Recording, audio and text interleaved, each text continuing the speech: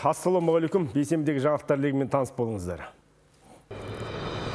Үкімет қазақстандықтар үшін тағы қандай атақтан qoйлап тапты? Исходя из э, там, вклада будут приниматься решения о вручении. мемлекеттік атақты алу үшін азаматтар не істеуі керек? Байзақтағы жарылыс кезінде жарақат алып жаны әрең қалған командир қалай күдіктіге айналып шыға келді? Осы жарылыстан тірі қалғаныма кінәлімін ба мен? Алапат жарылысқа генералдар емес командир кінәлі ме жазықсыз түрмеде отыруға мен келіспеймін. Атыраудың дәрігерлері өзін жайсыз сезініп тұрған жүкті әйелді қалайша үйіне жібере салған. Бақылауға алмай үйге жіберіп қойып. Үйіне қайтып қайтадан ауруханаға оралған соң қаза болған жүкті әйелдің өліміне кім кінәлі? Ота жасағанына мен күмәнім бар. Жұмбақ баға. Почему то қымбат. Елімізде жеміс жидек көкөніс пісіп төгіліп тұрса да бағасы неге төмендемейді? Үшін қымбаттау үкімет бекіткен шекті баға белгіленсе де көкөніс бағасы қалай шектен шығып жатыр?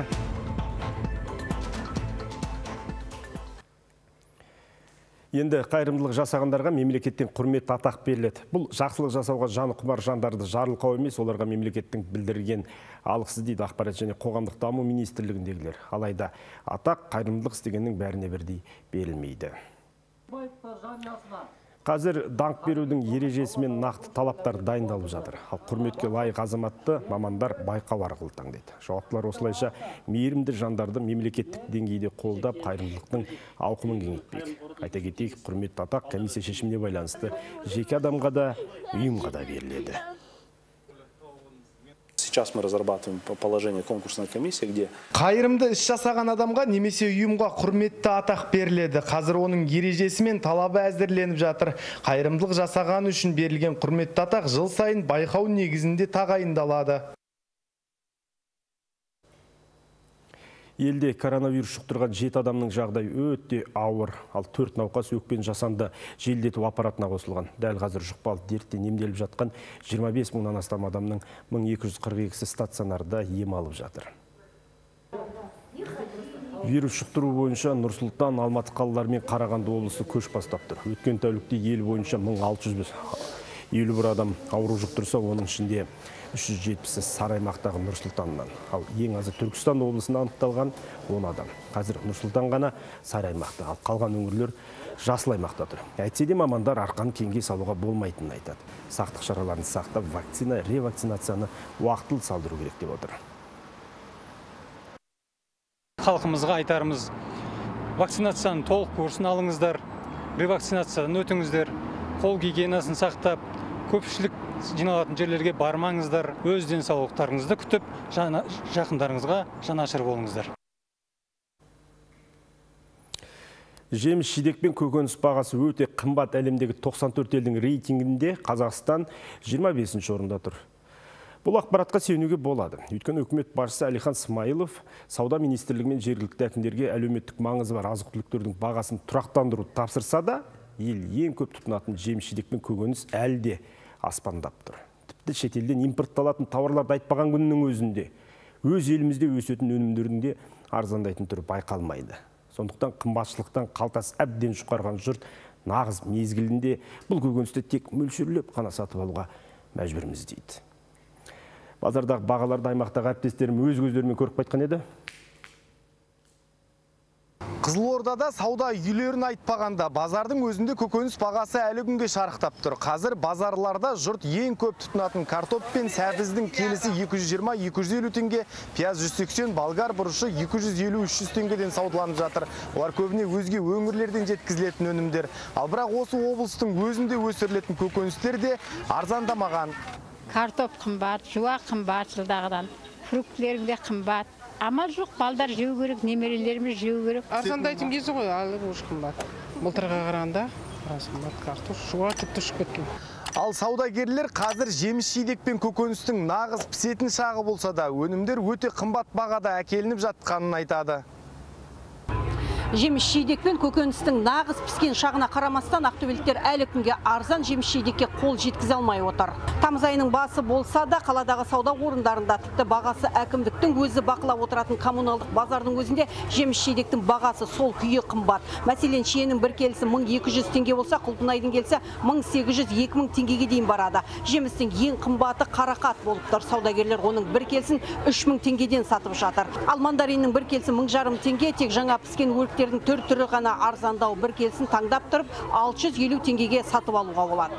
Фруктыны шынын айтайын ба Чымкенттен келеді, Түркістаннан келеді, импортный сосын әр жақтан келеді, соның үшін қымбаттау сырттан. Өзіміз қиналамыз, мысалы үшін қымбат аламыз, қымбат сатасың. Қиын. А мына инжир не дегендер турция. Турецкий нелер вообще түспей тұр олар деген почему то қымбат. Құлпынай қарақат ол қырғыздан келеді негізі көбінесе. Олар сол бір баға. Сатушылардың айтуынша биылғы жылы жеміс жидектің бағасы арзандамай тұр. Өйткені тауардың өзі өңірге жеткенше қымбат бағада келеді. Сөздерінше жолдың құнын шығару үшін шетелден келетін жемістердің үстіне тағы елу пайыз қосып сатады екен.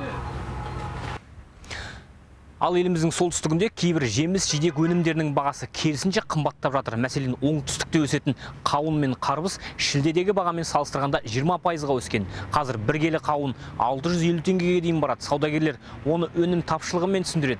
Ал жылда 300-400 теңгеге түсетін жүзімнің бағасы 800, кей жерлер тіпті 1000 теңгеге дейін барады. Алмалардың да бағасы қымбат барлық зат қымбат па мысалға өнім не үй алу мысалға машиналар да қымбаттап жатыр олар қымбаттағаннан кейін олар қайтып арзан болады қымбат емес бұның бәрі.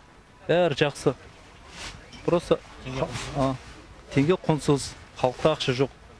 Жергілікті жерде өсетін қызанақ пен қияр да арзандай қоймаған. Олардың бағасы 300 теңгеден басталып түр түріне қарай 800 теңгеге дейін барады. Сатушылар халықтың табысы төмендеген сайын сатып алушылар да азайып барады дейді. Елорда базарларында да баға қымбат. Мәселен, картоп бағасы 230 теңгеден, ал пияз, сәбіз 300 теңгеден болса, 40 қабат 200 теңгеге саудаланып жатыр.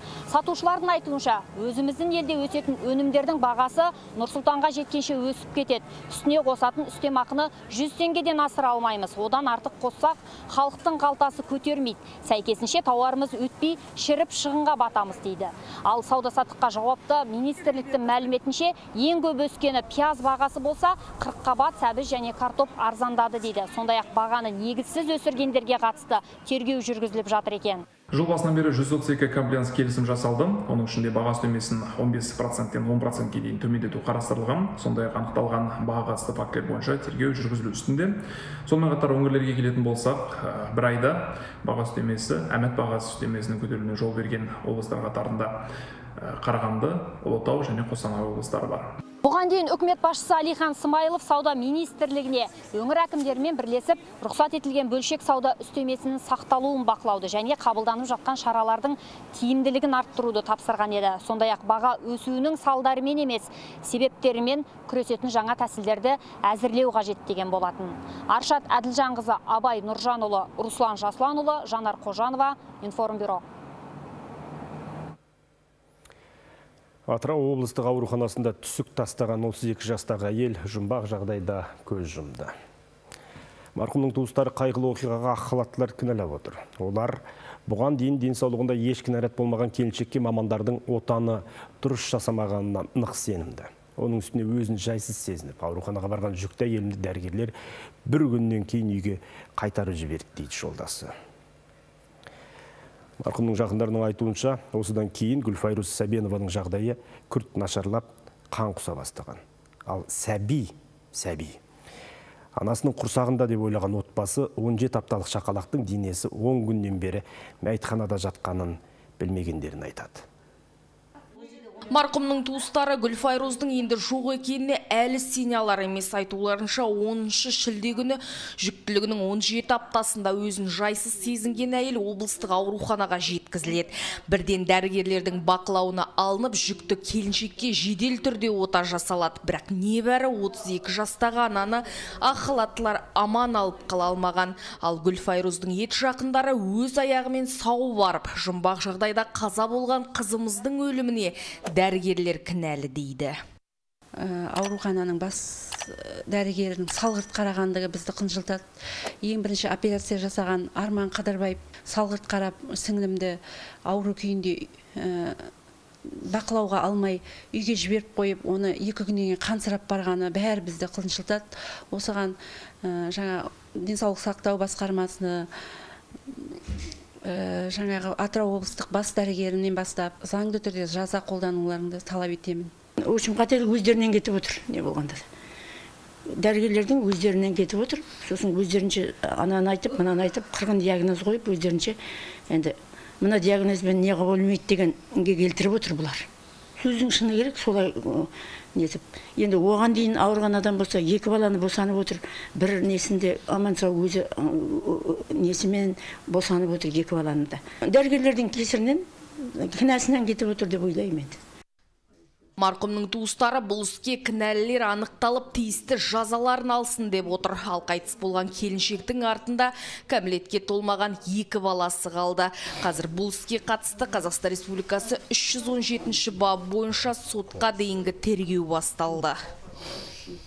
1990 жылы туылған әйел адамның аяғы ауыр әйел адамның өліміне қатысты қазіргі таңда факті бойынша қылмыстық кодекстің 317 бабы яғни фармацевтикалық және медициналық қызметкердің өзінің қызметін толық орындамауы дұрыс орындамауы фактісі бойынша қазір тергеу амалдары жүргізілуде. Тиісті медициналық сараптамалар тағайындалды. Қорытындысына сәйкес процессуалды шешімдер шығарылатын болады. Қазіргі таңда енді күдіктілерден және куәгерлерден тиісті жауаптар алынуда. Өзге ақпарат қылмыстық процесстік кодекстің 201 бабына сәйкес жариялануға жатпайды Жалпы өңірде ана мен бала өлімі жиілеген. Мәселен, былтыр 50 шақалақ өлі туылса, бір жасқа дейінгі шетінеген сәбилердің саны 69-ға жеткен. Жұлдыз Тілеухан, Фархат Тәжбаев, Информбюро. Жамбыл облысындағы жарылыс болған әскери бөлімнің командирі 15 жылға бас бостандығынан айырылуы мүмкін. Куәгерден күдіктіге айналдым деген Аслан Бақытжанов тағылған айыппен келіспейді. Айтуынша тергеушілер қалайда кінәлі қылып шығарғысы келеді. Жазығым, тірі қалғаным ба деген ол қылмыстық істің әділ өтуін талап етті. 17 адамның өмірі қиылып, жүзден астам азамат жараланған жарылыста жарақат алған Асланда ауруханаға жеткізілген. Бет жүзін жалын шарпыға мына бейне соның айғағы. Әу баста жапа шегуші, кейін куәгер болған ол шілде айында күдіктіге айналған. Өз ісіне салғыртық танытқан және қару жарақ құралдарын дұрыс пайдаланбау баптары тағылған. Бұл жаптым жала жақтым күйенің нақ өзі деген Аслан тірі қалғаныма жазықтымын ба дейді. Өйткені жарылысқа дейін болған әскери бөлімдегі жағдайды айтып күн бұрын керек жеріне хатта жолдапты. Ол әскери бөлімде отырып түк істемесем жаңағы проблемалар біле отырып ешқайға ешқайда жазбасам көрмесем жаңағыдай онда болады кінәлауға. Мен оның бәрін жарылысқа дейін алдын ала бәрін жазып отырдық көрсетіп отырдық. Болмағаннан кейін әскери прокуратураға дейін жаздым мен өзім осынша осынша хаттар кетті. Неге солардың бәрі орындалмайды? Аслан әскери бөлімдегі бар кемшілікті жіпке тізгендей алты айда сегіз хат жолдаған. Штаттық құрамды көбейту техникалық күзет құралы яғни бейнебақылау мен дабыл жүйесінің істен шыққанын айтып дабыл қақтым дейді. Бірақ басшылар мәселеге мән бермегенін айтады. Соның салдарынан қару қоймасына түтін шыққаны туралы хабарлайтын дабыл қосылмай қалғанға ұқсайды. Енді осы былықтың бәрін өзіне итеріп жатқанын айтады. Осы жарылыстан тірі қалғаныма кінәлімін ба мен енді сол? 10-15 жыл жазықсыз түрмеде отыруға мен келіспеймін. Куәгер кезінде болған жайды соқырға таяқ ұстатқандай бұлжытпай айттым дейді. Айтуынша қоймадағы қопарылысты екі сарбаз қолдан ұйымдастырған. Қазір оларға қатысты тергеу әлі жүруде. Басында күдікті деген отызға жуық адамнан қазір алтауы ғана қалған дейді аслан. Оның екеуі сарбаз қалғаны өрт сөндіруге келген төтеншеліктер екен сөзінше. Ал аслан бақытжанов айтқан бұл дәйектерге қатысты әскери прокуратура жақын күндері жауап береміз деді. Мәселе болашақта біздің тілшілердің назарында болмақ. Нұрайын рахай дәулетбай нұрмахан информбюро жамбыл облысы. Түркістанның әкімі Нұрбол Тұрашбеков халыққа берген есебінде асфальт салынды деп жұртқа жария еткен кейбір көшелер әлі күнге дейін тастақ күйінде жатыр. Халықпен биылғы жылдың 26 қаңтарында өткен қорытынды кездесуде есеп берген қала басшысы Түркістандағы Келес, Балқаш, Есіл көшелері асфальт жандысымен көмкерілді деген. Қала басшысы әкімдіктің ресми парақшасында да Келес көшесі түгелдей асфальттан деп мәлімет берген еді. бірақ семіртіп айтқаны арық болып шықты тұрғындар аталған көшенің тең жартысына асфальт төселмегенін айтады. Үш шақырымдық жолы бел ортасынан тастақ күйінде жатыр. Дұрыс мәлімет бермеген шенеуніктердің әрекетін ел түсіне алар емес. Ал мамандар әкімге шаң жұқтырмай отыр. Олардың сөзінше қала әкімі өз есебінде асфальт жүргізу жұмысы толық аяқталды деп айтпаған көрінеді. Халық алдындағы мәлімдемеде жартылай деген сөз қалып кету мүмкін дейді. Сарқын жүйесі толық жүргізілмегендіктен екі мың жиырма бірінші жылы тек жаңағы сарқын су жүйесі жүргізілген аумаққа ғана асфальт жабындысын салу жоспарланған болатын. Әкімнің есебінде неге толықтай жұмыс жүргізіліп бітті әкімнің есебінде ол жерде толықтай аяқталды демеген келес көшесіне асфальт жабындысы төселді деп көрсетілген. Жақсылық жасауға құмар қайырымдылыққа жан тәнмен берілген жастар қостанай облысында жиналды.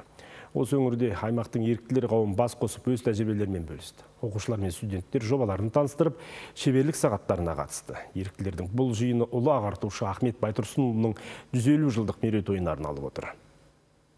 Жаңа Қазақстанның жаңа жастары еріктілер слетіне Қостанай облысының әр ауданынан жүзге жуық жас жиналған. Жастардың кездесуі алғаш рет табиғат аясында Әулиекөл ауданындағы Аман Қарағай табиғи орман шаруашылығына аумағында өтті. Бұндай шаралар негізі жыл сайын өтіп жатады, бірақ биыл ерекше деп ойлаймын, себебі бұл шара балалар жылына арналып отыр. Негізгі мақсаты жастардың бір бірімен тәжірибе алмасып және белсенді қарым қатынас орнату болып табылады. Слетке қатысқан оқушылар мен студенттер екі командаға бөлінген. Еріктілер іздеу жұмыстарын жүргізу мен эко еріктілер жобасы туралы пікір алмасты. Бұл әсіресе қатарға енді қосылған жастар үшін қызықты болды адамдарға көмектесеміз мұқтаж жандарға көмектесеміз даланы жинаймыз тазалық.